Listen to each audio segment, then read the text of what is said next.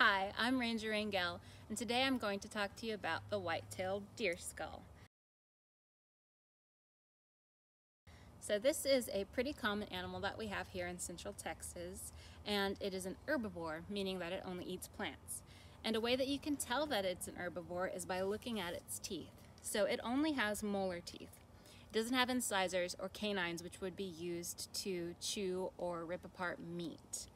Another thing to notice about the white-tailed deer skull is the placement of its eye sockets. So they're sort of at the side of its head, and this gives the animal the ability to look around because this animal is actually considered prey.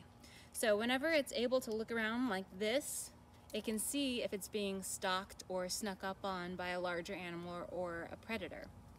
Um, However, that doesn't that gives it sort of poor depth perception because it can't look directly in front of it at, a, at an object like we can.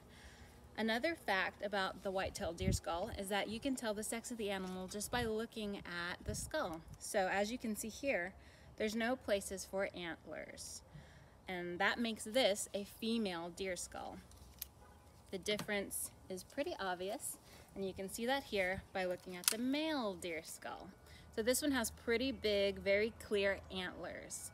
Antlers differ from horns because they're actually made out of living tissue and the deer shed them every year. So thank you for tuning in and watching my nature nugget on the white-tailed deer. Have a good day.